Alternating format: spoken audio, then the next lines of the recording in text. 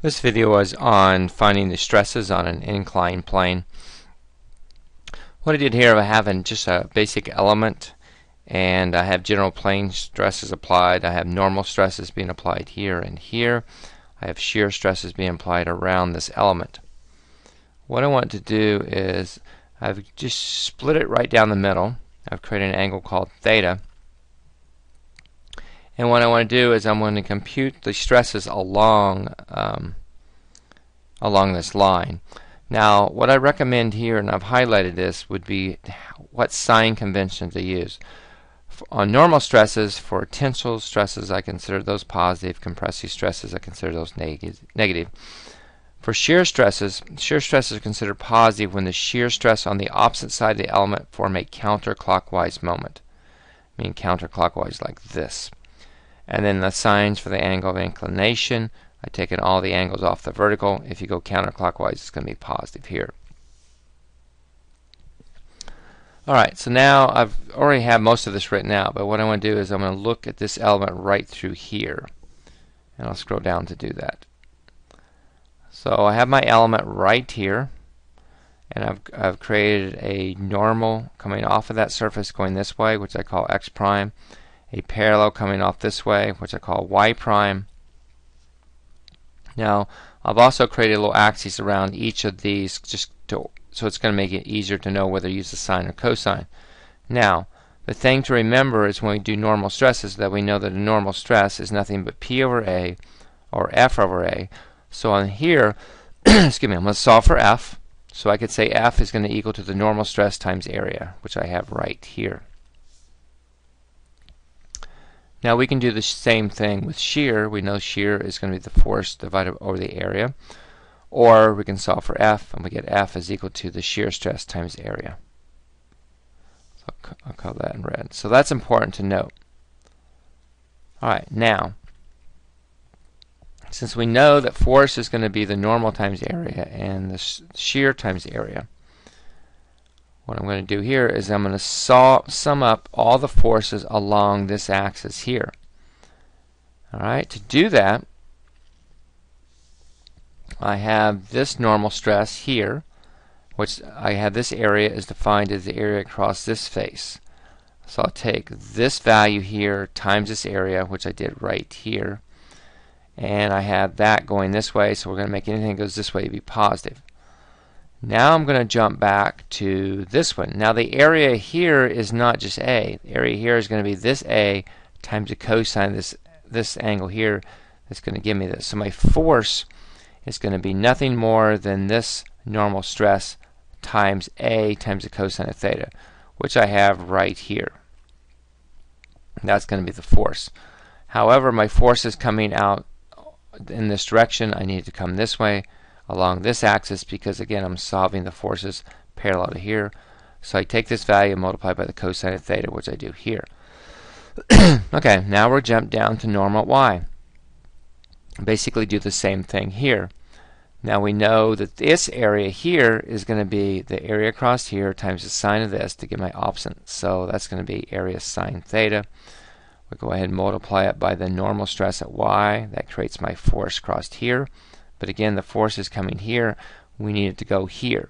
So I'm going to take this force, multiply it by the sine of this angle here, which is going to get the force going back along this axis here, which I do right here. Alright, so now we're going to start talking about the shear. I have this shear across this face here. So I take this shear times this area here, which we said was A sine theta, which I did here and here. That gives me my force. My force is coming this way. I'll multiply that by the cosine of this angle to get the force coming back this way, which I did here.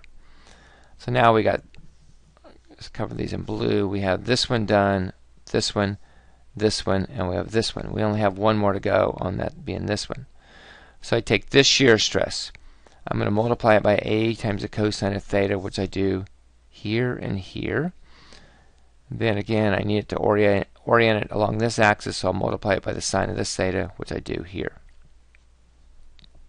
And again, as always, we're just going to set that equal to 0.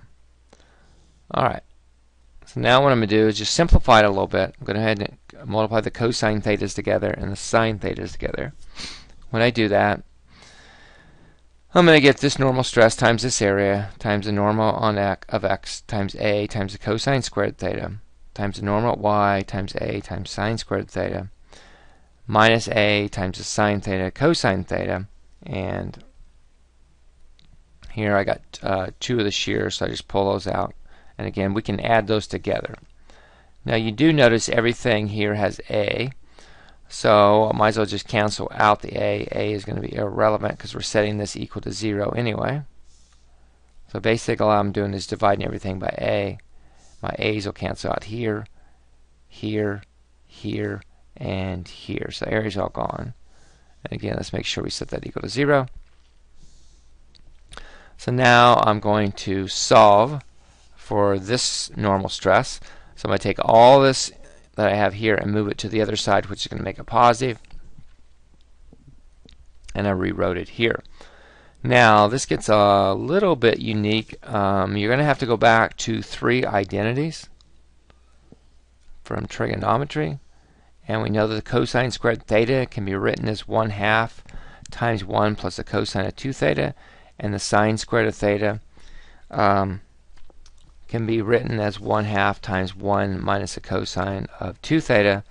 And the sine theta, cosine theta can be written as 1 half sine 2 theta. Again, if you don't remember those, you can look those up. Substitute back in here for cosine, here for sine, and here, right here into this. And I did that right here below and wrote it as, as, um, as stated went ahead and distributed this and if you do that then I'll get theta x sorry theta s normal stress at x over 2 plus normal stress x over 2 times the cosine of theta. So I just distribute this and I've basically done the same thing here. Now what I'm going to do is I'm going to bring the normal x2 and the normal y2 together which I did here. I bring this one and this one together which I did here times the cosine 2 theta is my greatest common pull it out. Plus my shear stress times the sine of 2 theta. Alright, so now I have this equation here. Now, these equations, these are both very useful equations. And I'll just talk primarily on this one. This equation here can be used to find the normal on any inclined plane when you know the when you're given the angle. So this one's going to be very valuable. Now, the second equation I didn't go through all the mathematics, but just talk. I'll go back and talk about how we do that. Is all I would do would be find the summation of forces along the y prime axis. Is what I did. What I would do, and instead of going through all the mathematics, what you end up getting is this equation here, and this is going to let you find the shear stress along any angle. Excuse me, along any inclined plane, as long as you know what the angle is. So both of these equations are going to be very useful. So again, this is the um, the proof or how to uh, develop the two equations for normal stress and shear stress along an inclined plane.